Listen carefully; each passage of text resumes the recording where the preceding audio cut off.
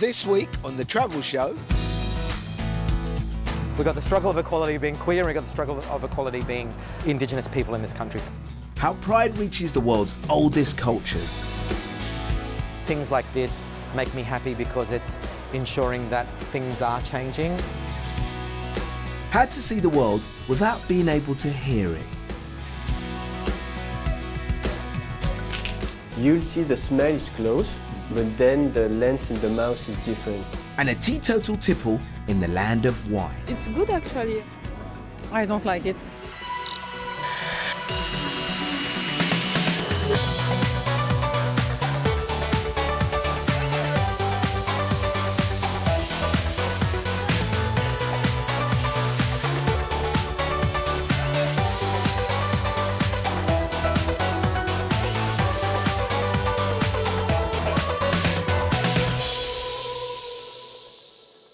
Hello there from sunny Paris, where later on in the show I'll be finding out whether the City of Love is ready to relinquish its favourite drink.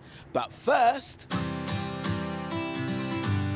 we're off to Sydney, which is celebrating 50 years since its first Gay Pride Week.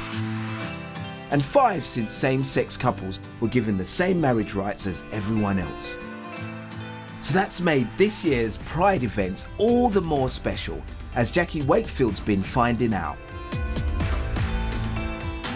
The summer season in Sydney, and everyone's out on the streets. It's the time of year the parks and open spaces are full of parades, parties, and concerts. And this year, after the quiet of Australia's long lockdown, nobody needs much excuse to head outside to reconnect with their friends.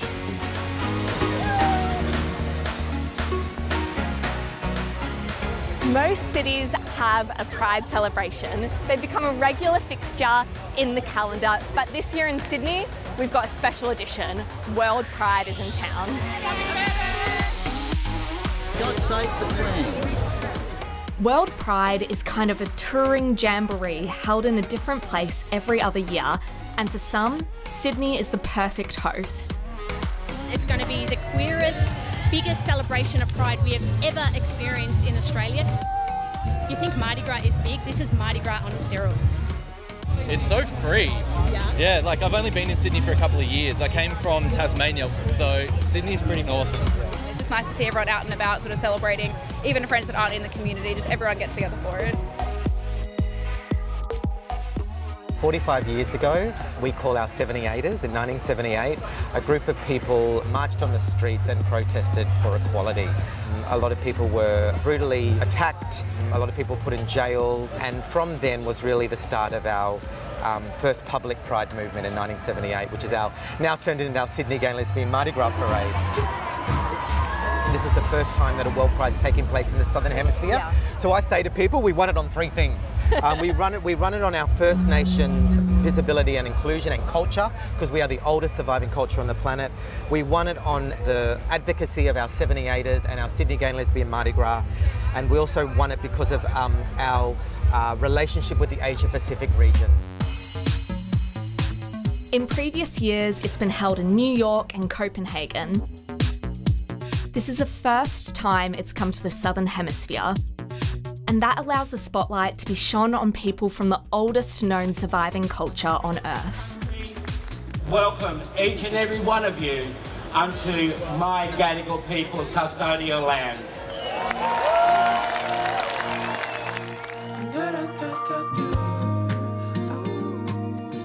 Normally, this place is an art centre, but during World Pride, it's where Australia's First Nations LGBT communities have been coming. And for the duration, they've renamed it Murray Mudung But or the Gathering Space.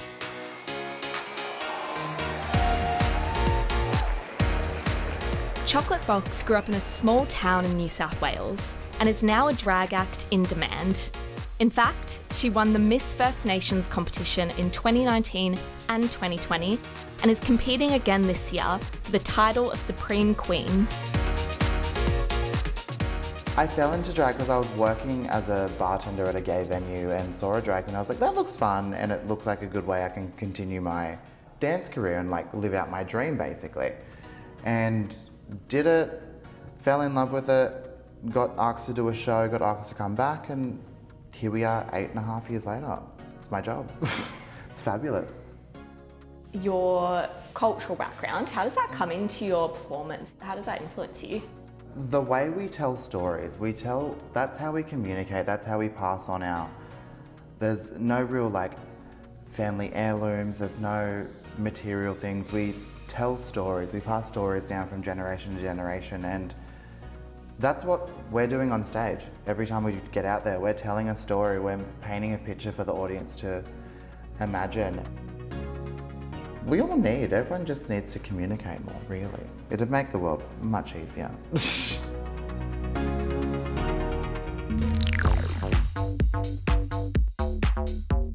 Australia's government said World Pride had the potential to be the biggest event in Sydney since the Olympics in 2000.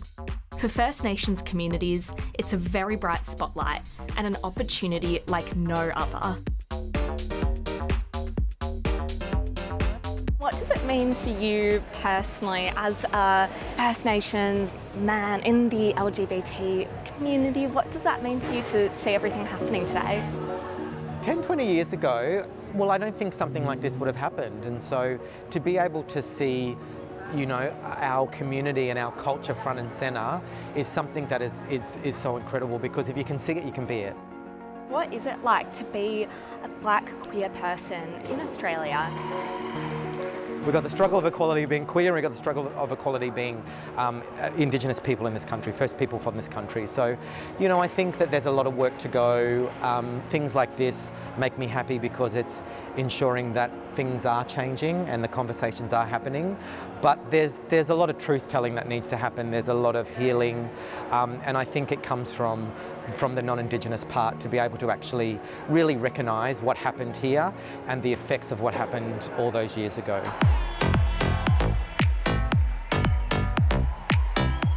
Chocolate Box's dance set took runners-up place in the end.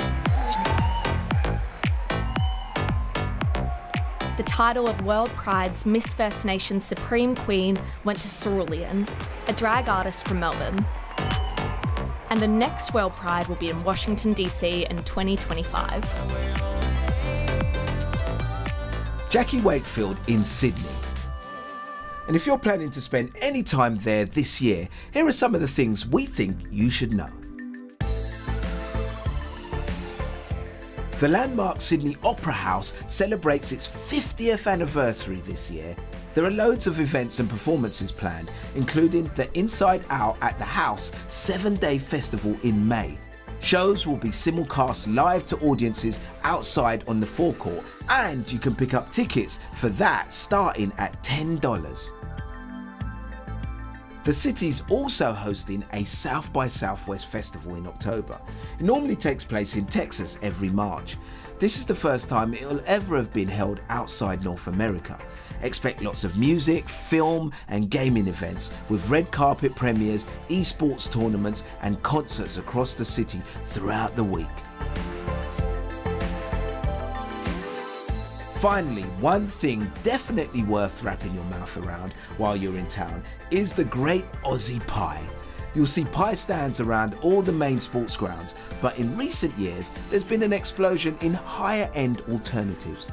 Try the Wagyu beef or Lankan chicken curry in the Surry Hills bakeries, or you could search out Harry's Cafe de Wheels, which has been serving its famous tiger pies for more than 80 years.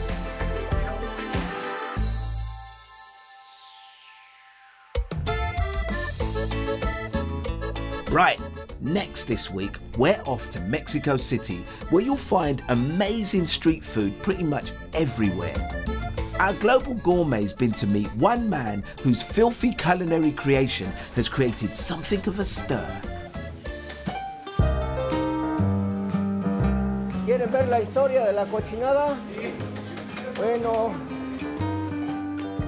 yo soy Don Beto, ¿sí? el que inició eh, los tacos de cochinada.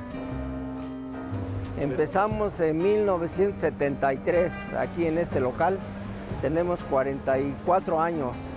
La cochinada es todo el concentrado que va, se va cayendo en el fondo del comal junto con el jugo de la carne que se va eh, derritiendo, se fríe, se funde bien, ya queda bien doradito y ese le echa encima a todos los tacos a los que les gusta con cochinada, que ahora todos quieren con cochinada. Esta es la cochinada. Ahorita que se está friendo mucha carne, antes se fría, pues, aquí se fría mucha carne y este, como no, no sabíamos qué hacer con el jugo de la carne y todo lo que se juntaba, este, empezó a juntarse mucha, mucho jugo. Entonces empezamos a darles a probar a la clientela por taco uno por uno así para que lo probaran a ver si les gustaba. Y pues ya empezó a gustarles así la, el asientito que es la cochinada. Ellos le pusieron muchos nombres, le, ponían, le pusieron basura, carbón, shishi, mugre, cochinada, bueno, porquería, un montón de nombres. Pero lo que más les gustó fue la cochinada y así se quedó. Otros, con nuestro sazón, pues casi, más bien todo, hasta los niños de dos años ya comen tacos de bistec.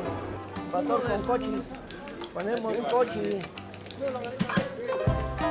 Pues es muy bueno para nosotros porque vamos este, preparando una clientela que viene este, precediendo a las siguientes generaciones y ahorita ya vamos con la tercera generación de, de clientes.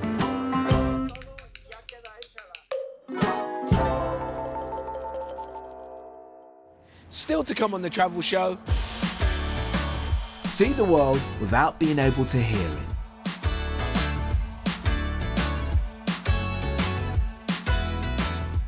France is saying no to a booze-free future. Not my case. I like wine, regular wine. I'm used to that. So don't go away. A trip down memory lane next, and one from our series of encounters with travellers who experience the world very differently. Now, the prospect of heading off for a life on the road while deaf may sound daunting to many of us, but for one woman, it's opened doors and sparked new friendships, and we met her back in 2019.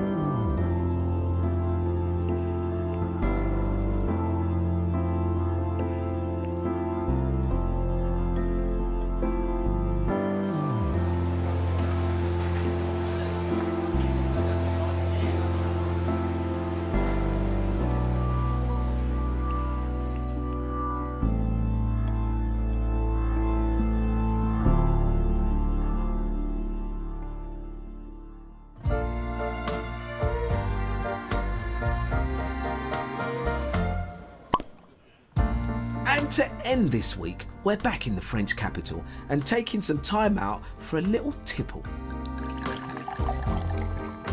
Whether you're mad for Merlot or salivate over a Sauvignon Blanc, the City of Love swoons for a glass of wine. As other countries have music or fashion, France, you'll see glass of wine on each table in any bistro or Michelin star restaurant. I mean, there are paintings about wine. They fought wars about wine. So it's worth 25 billion euro a year to the French economy, and then there were five and a half billion bottles produced in France last year. But as bars and restaurants all over the world shut their doors, the pandemic forced loads of us to reassess our relationship with booze and explore more non alcoholic alternatives. International sales of non alcoholic drinks have shot up by a quarter, but in France, the growth has been slower. Reportedly, just 4% in the same period. So, how do Parisians feel about alcohol free wine? I've never tried it. I like wine, regular wine. I'm used to that. I think we we're losing something. You want to feel the taste. It's not as fun either. One man hoping to transform French attitudes is Augustin. Hello, Hadi. Last year, he set up what he says is Paris's first shop entirely devoted to non alcoholic drinks. Do you get any snobbery? Do you get people who come in and, and when they hear there's no alcohol, they're like, what? What is this? Uh, yeah, at the beginning, some people were kind of uh, making fun or just laughing when they entered. But then for us, it's not against alcohol because most of our customers they are what we call flexi drinkers. So they keep drinking alcohol, but they also time to time want to have a break.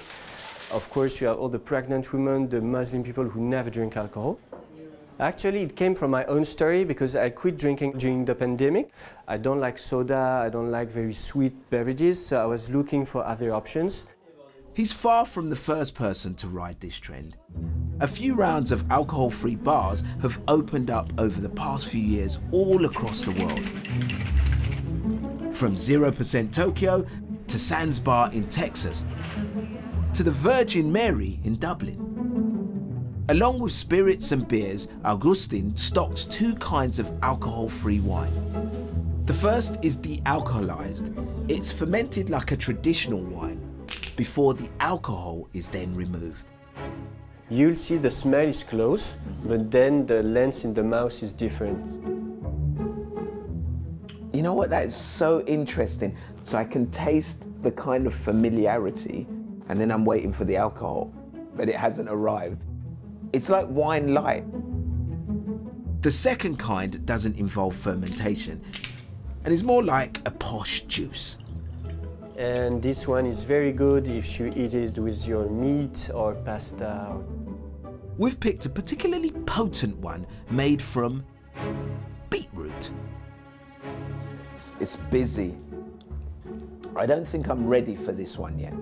But this is exactly what we see with our customers. So now they are more, more looking into uh, substitutes, so beer or de-alcoholized wine.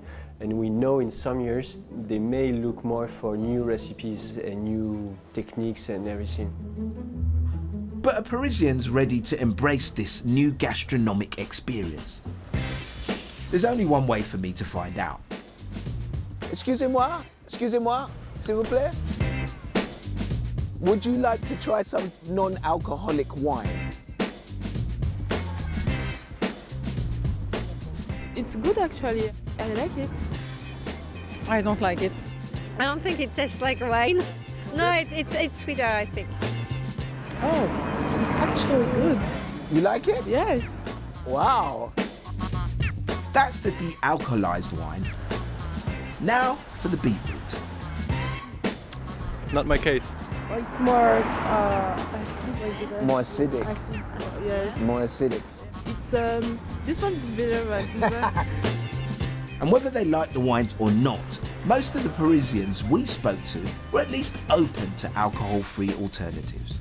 Yes, because I, I'm not fond of uh, alcohol. I prefer the taste. So for you, it's just finding something that has the right taste. Yes. And then it'll be a winner. Yeah.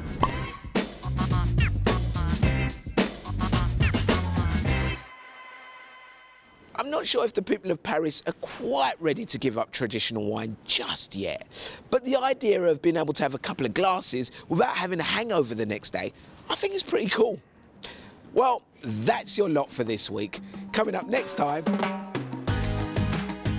Rajan's in the Spanish city of Malaga as it marks 50 years since the death of its most famous son, the artist Pablo Picasso. You can see the influence of the city on his art. It's very diverse and there's a lot going on. And we're in Glasgow to reveal the hidden story behind the UK's real national dish, which isn't fish and chips in case you were wondering. Have you ever told anyone outside of the restaurant what's inside? No. Until then, you know how it works. You can find us on BBC iPlayer as well as on social media too. We're in all the usual places, along with lots of other great travel content from around the BBC. See you soon. Bye bye.